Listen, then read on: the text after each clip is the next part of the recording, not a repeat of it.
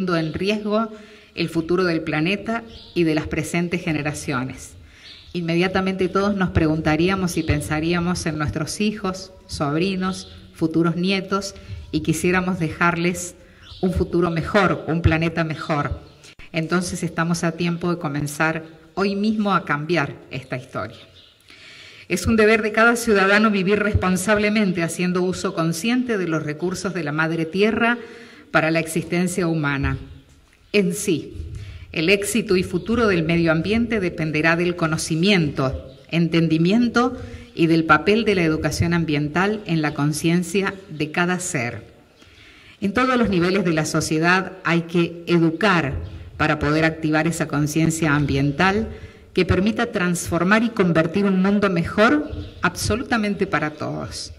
Hoy estamos aquí reunidos in situ, diría yo, para compartir este acto y de esta manera comenzar a tomar conciencia en relación a nuestro medio ambiente. Bienvenidos a todos y comenzamos este acto con un fuerte aplauso.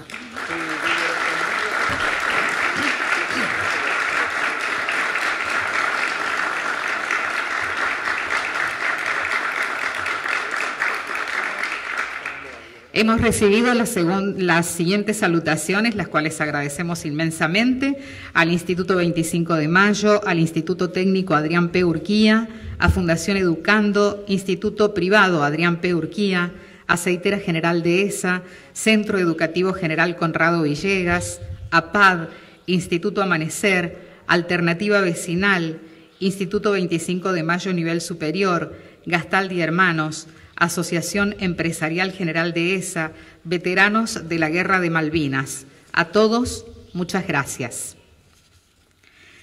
Desde el año 1995, en memoria de las personas fallecidas, el 27 de septiembre de 1993, como consecuencia del escape de gas cianhídrico ocurrido en la ciudad de Avellaneda, se conmemora el Día Nacional de la Conciencia Ambiental.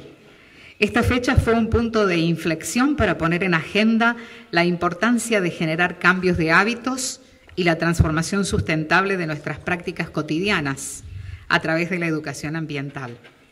Se encuentran presentes en este acto el señor Intendente Municipal, abogado Franco Morra, el secretario de Obras y Servicios Públicos, ingeniero Juan José Giraudo, miembros del Departamento Ejecutivo Municipal, también la señora Mónica Ruiz y demás miembros de la cooperativa de trabajo Nuestra Señora de la Asunción, el señor Nahuel Manucci y demás miembros de la cooperativa Siete Colores, directivos y docentes de los establecimientos educativos, miembros del Consejo Deliberante, medios de comunicación y público en general. Seguidamente, el secretario de Obras y Servicios Públicos, ingeniero Juan José Giraudo, oficiará de moderador en el presente evento. De esta manera, de esta exposición forman parte el intendente municipal Franco Morra, la señora Carolina Roldán, directora de Agua y Ambiente, la señora Mónica Ruiz de Cooperativa Nuestra Señora de la Asunción y el señor Nahuel Manucci de la nueva cooperativa Siete Colores. A partir de este momento le cedo la palabra al ingeniero Juan José Giraudo. Gracias Sandra, gracias a todos los, presentes por llegarse hasta aquí. ¿Me escucha bien ahí? Hasta nuestra sede ambiental, eh, el Complejo Ambiental General de ESA. Bueno, nosotros consideramos que es muy importante para los proyectos que se lleguen hasta aquí y que, eh, y que, bueno, claro que esto no es una inauguración, sino es simplemente una muestra de lo que hacemos eh, como decía Sandra, in situ, ya que eh, somos todos actores de este proyecto, somos todos importantes para que este proyecto funcione. No es un proyecto municipal, sino que es un proyecto de la ciudad. Y bueno, nuestra idea, la idea que tuvimos con Franco, o bueno, que, que Franco me trasladó, es que la cuestión de la sustentabilidad sea una política de Estado para la ciudad más que un proyecto político. Eso es, es algo que que me costó entender o, o, tardé un tiempo en entender, pero que cuando lo entendí lo vi y esto trasciende nosotros, este lugar trasciende nosotros, la separación de residuos, el cuidado del ambiente y dejarle eh, un lugar eh, sano a las futuras generaciones es una tarea de todos y no solamente de la política ni de la parte privada, eh, sino que es un poquito cada uno. seguramente muchos de los que están aquí presentes estuvieron en el lanzamiento, en el primer lanzamiento de este proyecto, que fue el 28 de febrero del año 2019, aquí en el, en el basural. Recuerdo que cuando Franco me planteó la idea de hacerlo aquí, en el basural, medio que no, no lo podía creer, no lo podía visualizar, pero después de mucho trabajo logramos acomodarlo para que, eh, o remediarlo en realidad, esto estaba lleno de basura, todo lo que ven aquí, eh, estamos literalmente rodeados de basura, eh, más allá de que después de muchos años pudimos recuperar algunos espacios para que hoy puedan ser parte de este circuito. de ese 28 de febrero han pasado muchos días, cuatro años, en los cuales hemos hecho muchas actividades, una pandemia entre medio también, eh, y para tomar dimensión de eh, lo que significa este lugar, aquí ingresaron más de 100.000 metros cúbicos de basura.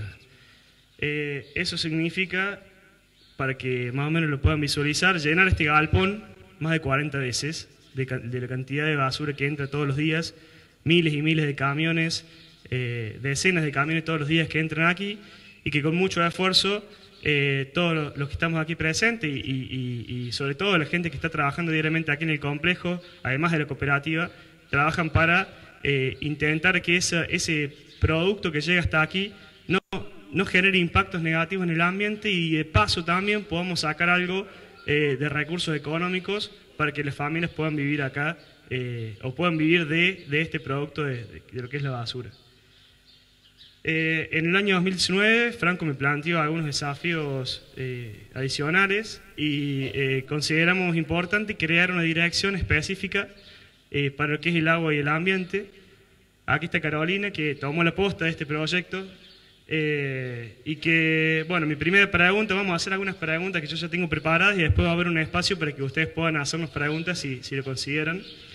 Mi pregunta para Carolina es, ¿con qué te encontraste aquí cuando llegaste al complejo y cómo es el funcionamiento diario del Complejo Ambiental General de ESA. Bien, muchísimas gracias, bienvenidos a todos. Eh, como les decía Juanjo, eh, en el año 2020 inició lo que fue mi dirección de agua ambiente y al llegar al complejo eh, me encontré con muchísimas oportunidades. oportunidades para seguir creciendo, para implementar nuevos programas y desafíos y sobre todo me encontré con un grupo humano, aquel, los pertenecientes a la cooperativa de trabajo y al personal municipal, que antes eran muy pocos, fue creciendo también. Eh, como creció lo que es el complejo ambiental. Ustedes ya han podido visitar en el año 2020 eh, lo que fue la sala educativa, que durante ese año nos agarró la pandemia a todos y nosotros teníamos como principal desafío seguir, continuar con el programa de separación de residuos con esto que nadie sabía cómo hacerlo. Nos tuvimos que adaptar y de esa manera creamos dos grupos de trabajo. Eh, tuvimos que seccionar los grupos. Creamos dos grupos de trabajo, se empezó a trabajar la mañana y la tarde. ¿Sí? Hola. Ahora sí, bien. Eh, se empezó a trabajar a la mañana y a la tarde. Y esto consolidó el equipo de trabajo de la cooperativa. Eh, les mencionaba que trabajamos en, el, en la sala educativa para prepararnos el 2021, ya recibir a los chicos eh, y continuamos con los desafíos en este año nos encontramos con la inauguración del circuito ambiental, que es ampliar esta oferta a aquellos que nos vienen a visitar, no solamente las escuelas, sino también aquellas eh, instituciones, empresas que están adheridos al programa y quieren saber cómo es que nosotros acá en la planta de tratamiento gestionamos los residuos que ellos separan. Esto es importantísimo para poder continuar eh, en lo que es el programa de la separación de residuos y sobre todo para que ustedes, que son esos actores que están del otro lado, eh, vean que ese esfuerzo vale la pena. Les mencionaba de que trabajamos con la cooperativa de trabajo, Nuestra Señora de la Asunción, y son un grupo de personas que ha crecido mucho eh, este, en, este, en este tiempo, se consolidó y sabemos que el esfuerzo que nosotros hacemos en casa repercute muchísimo acá, porque le da mucha calidad de trabajo a los chicos.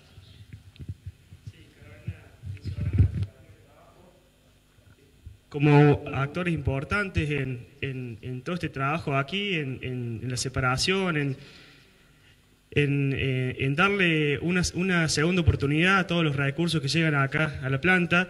Mónica, que está acá al lado mío, eh, fue una de las pioneras o quien estuvo desde el principio eh, de, esta, de este nuevo trabajo para la cooperativa, con lo cual la pregunta que, tengo para ella es, eh, ¿cómo fue que la cooperativa de trabajo pudo ver o pudo aprovechar esta nueva oportunidad teniendo en cuenta la valorización de los residuos que produce la ciudad general de ese? Bueno, hola para todos. Bueno, nosotros en principio o medio del 2018 fuimos convocados por el señor intendente, quien es entonces la cooperativa prestaba servicio en barrio de calle, en nuestro primer convenio municipal. Eh, bueno, Franco nos convocó para ofrecernos eh, este proyecto que era muy importante para la ciudad y para la cooperativa totalmente nuevo, eh, lo que genera más fuente de trabajo y el mundo del reciclado. Eh, bueno, nosotros dijimos que sí, que queríamos. Hablamos con nuevos asociados, les ofrecimos este, este trabajo, que, que bueno, éramos como nuevo en todo. Al principio no sabíamos bien de qué se trataba y después nos dimos cuenta que donde, donde para la gente es basura, para nosotros eran nuevas oportunidades. Entonces, eh, bueno, este grupo se fue capacitando, fueron recibiendo charlas municipales, también la cooperativa, eh, hicimos varios cursos, la gente se capacitó y el progreso de esto hizo que los chicos quisieran independizarse. Y para la cooperativa de trabajo, Nuestra Señora de la Asunción, era eh, algo nuevo, algo buenísimo para los chicos. Entonces, decidimos apoyarlos, apadrinarlos hasta que llegara la matrícula y bueno, y de ahí nació la cooperativa de trabajo Siete Colores. Bueno, esto que decía Mónica es, justamente para, destacar, eh, es para destacar, o sea, a partir de,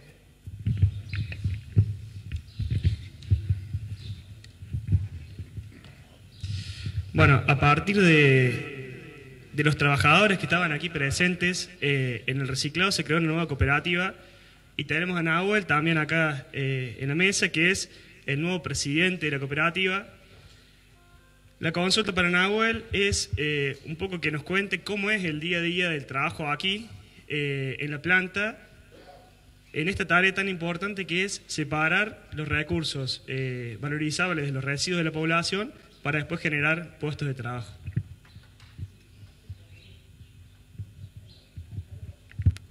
Bueno, hola, hola, ¿se me escucha? Eh, bueno, eh, sí.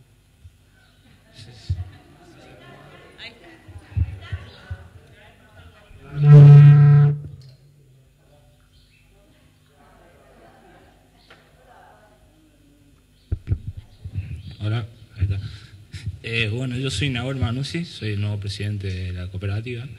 Eh, bueno, el principal trabajo que hacemos acá es eh, recolectar los, los materiales que se, de basura que se pasan por la cinta, se recolectan los que son reciclables, los que no.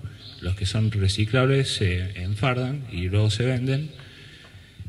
actualmente somos ocho operarios, eh, mucha cantidad de esos son mujeres, que eso me parece que está muy bueno porque es inclusivo una, eh, una cooperativa actual y los proyectos actuales que tenemos son eh, recaudar el caucho del neumático, que eso después lo podemos vender, el nylon también y el material textil.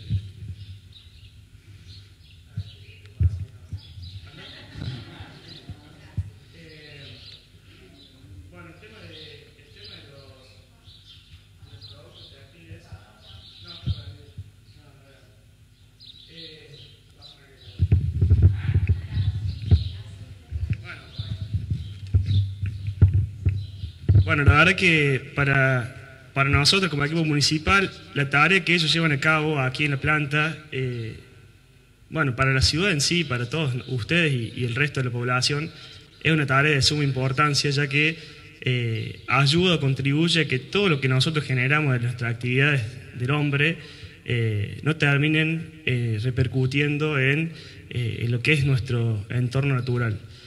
Y de hecho, un poco capacitándonos, porque esto es algo nuevo que día a día hay que ir capacitándose y sobre todo lo bueno es ver otros casos de, éxito porque eh, por suerte otros países o por ahí algunos lugares eh, ya han tomado la posta de hace años y, por ahí eh, no es inventar, sino es ver. el tema de los textil, que es uno de los tres proyectos que tiene Nahuel y, su equipo y, toda la cooperativa nueva, la, ropa, aunque no parece, es el segundo mayor contaminante en el mundo.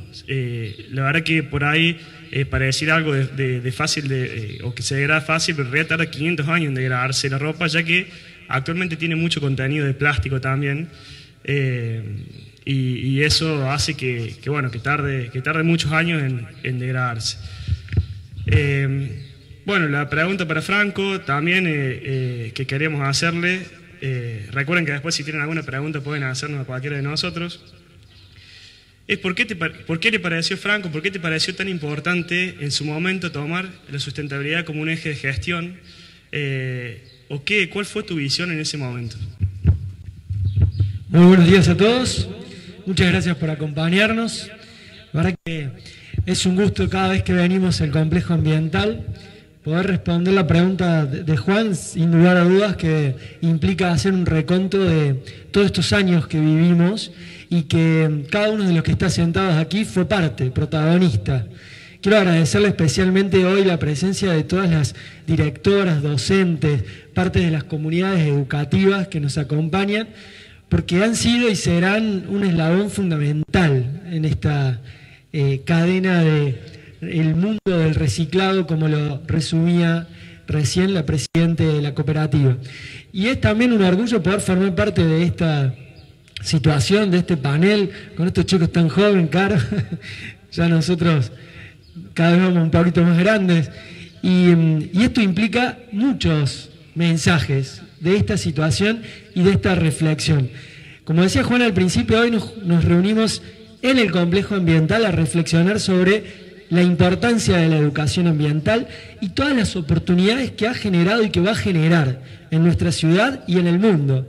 La primera que recién haciendo un paneo en general se me venía a la cabeza es la oportunidad que se da para los jóvenes. 23 años tiene el actual presidente de la cooperativa Siete Colores. Y eso significa la creación y la generación de nuevos liderazgos en todos los ámbitos.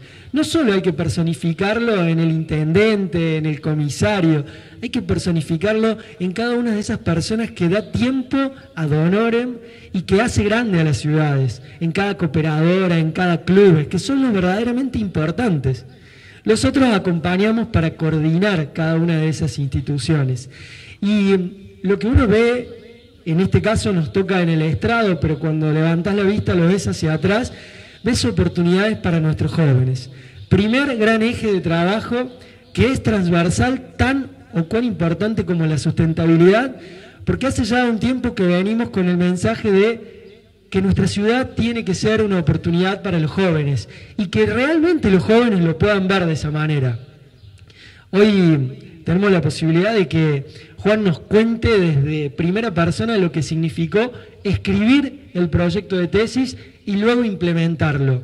Pero también lo tenemos sentado a Lisandro Flores, profesionales que acompañaron en este desarrollo, que se fueron a estudiar y que volvieron hacia nuestra ciudad y que se formaron en nuestras escuelas, en nuestros secundarios, en nuestras instituciones.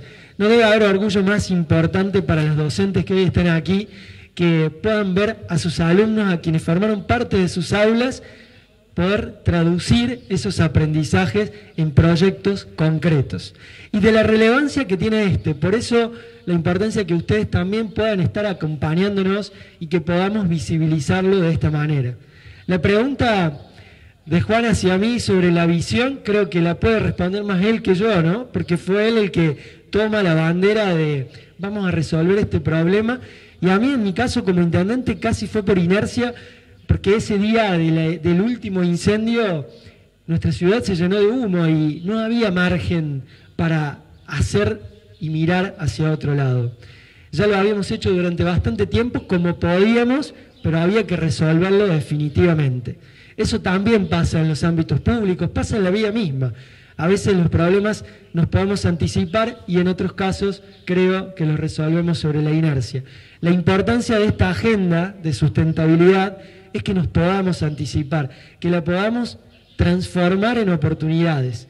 Primero para nuestros jóvenes y segundo, y no menos importante, para nuestras familias.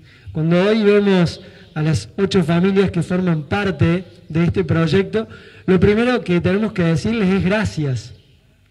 Porque la responsabilidad de todos estos residuos no es solo de ustedes, es de cada uno de nosotros que los generamos en nuestros hogares, en las industrias.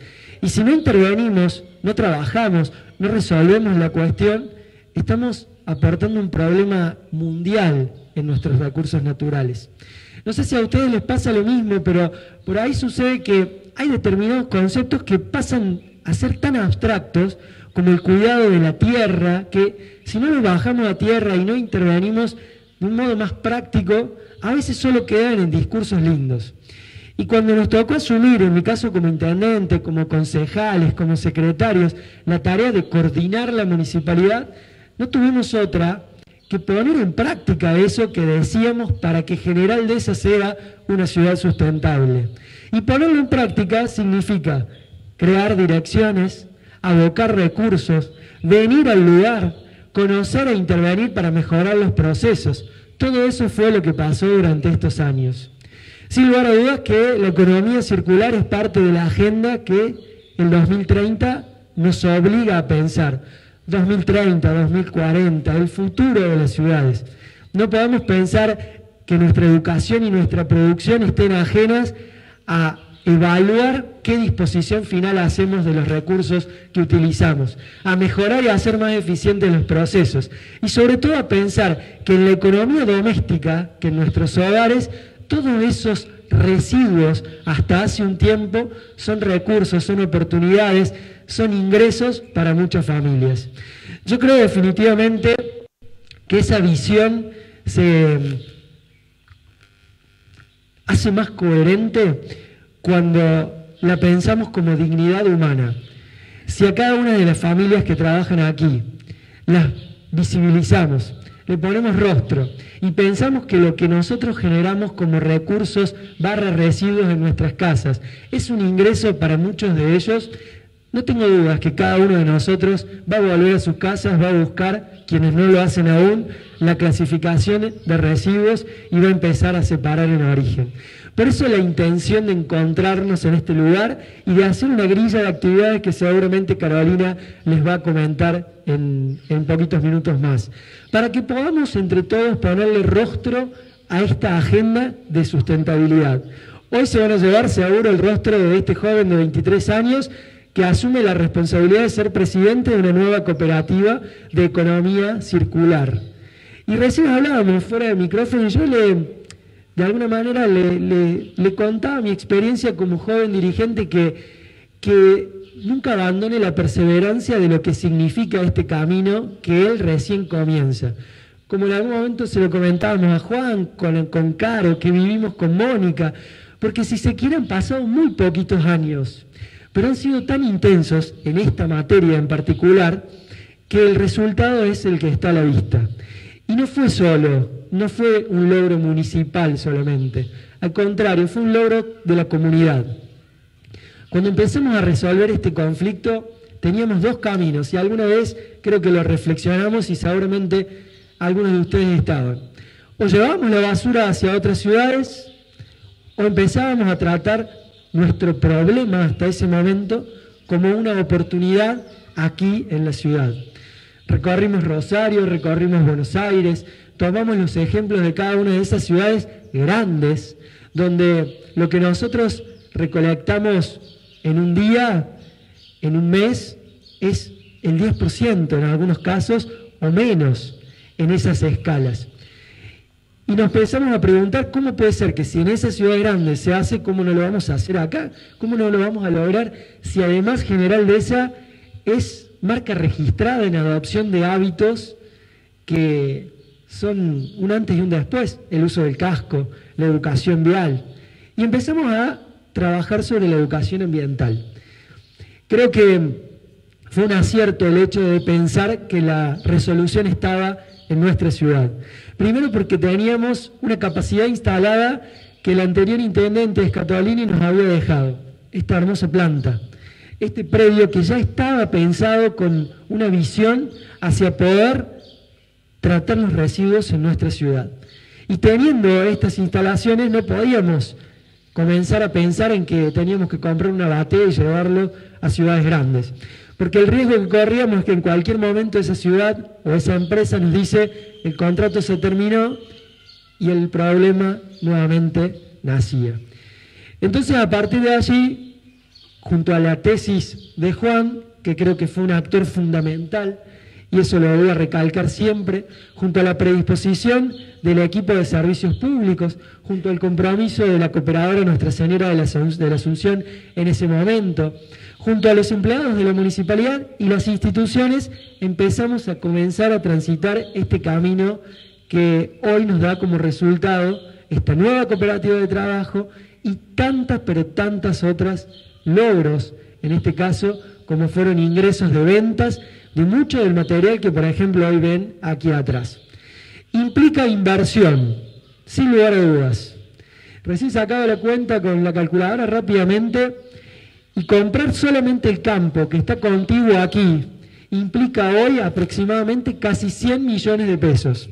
Claro, es una decisión de gobierno y de Estado, porque el impacto que tal vez genera en la opinión pública, 24 hectáreas, que no las ve nadie, no es lo mismo que si hacemos esa misma inversión en cuadras de pavimento, en mejoras de plazas, o tal vez todo de lo que ya sabemos que se observa mucho más. Pero es imposible pensar, y lo miro al ingeniero Flores, es imposible pensar mejorar el proceso si no tenemos los recursos, si no tenemos la posibilidad de crecer y si no le damos el largo plazo a las políticas de Estado. Es una tranquilidad para nosotros como dirigentes saber que el predio para pensar el inicio y la continuidad de las celdas de disposición en el relleno sanitario tiene un proyecto de más de 50 a 80 años. Porque eso significa que los próximos intendentes y equipos de gobierno no van a tener que sentarse a pensar dónde hacer la celda, sino cómo hacer la celda de acuerdo a la tecnología de ese momento para mejorar el proceso y hacer cada vez más eficiente esa tierra que ya es parte y propiedad del municipio y de General Dehesa. De la misma manera, con presupuestos muchísimos menores, pero a lo largo de todos estos años y en plena pandemia, para poder dotarle de una sala educativa, de una báscula, de mejoras en estas instalaciones, de alianzas estratégicas con empresas y con taller, como por ejemplo el taller protegido de APAD. Porque aquí también creo, y quiero destacar, la voluntad y decisión política unánime en el Consejo Deliberante de todos los partidos políticos que han pasado, de poder aprobar ordenanzas que son congruentes y coherentes con esta decisión.